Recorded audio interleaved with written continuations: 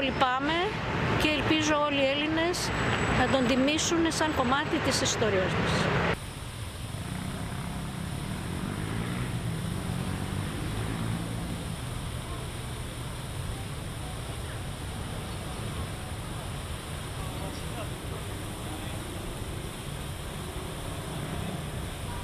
είναι κολλημένοι πολιτικά. Αυτοί αντιδρούν. Η αντίθεση του βασιλέου. Αυτό πιστεύω εγώ. Ενώ οι άλλοι είναι μαζί τους. Μας έχουν χωρίσει. Ο βασιλιάς ήταν έφυγε και πάει και θα τελειώσει.